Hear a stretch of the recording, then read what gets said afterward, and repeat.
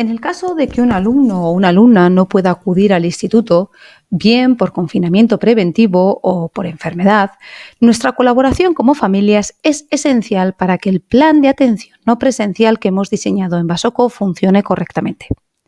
Nuestro objetivo es que los alumnos puedan continuar con el proceso de aprendizaje desde casa y que cuando sea posible se reincorporen con facilidad a las clases sin que su nivel académico y su relación con el centro haya salido perjudicada.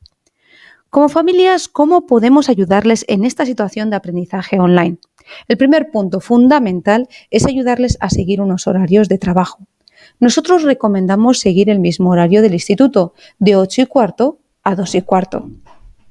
Idealmente, tendríamos un punto fijo o un lugar de estudio que debe ser tranquilo y que debe permitirle hacer videollamadas o escuchar una clase en streaming sin ruidos de fondo o interrupciones. Por otro lado, dejar el móvil en otra habitación ayuda a concentrarse. Cada familia conocemos el grado de autonomía de nuestros hijos e hijas. Algunos chicos y chicas, sobre todo los más jóvenes, necesitan una mayor supervisión. Conocer las herramientas que van a utilizar los programas esenciales nos ayudará a hacer esa supervisión. Con Google Calendar podremos ver la tarea que tienen todos los días.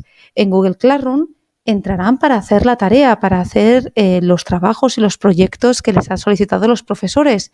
Y utilizaremos Google Meet para hacer videollamadas. Vamos a ver ahora.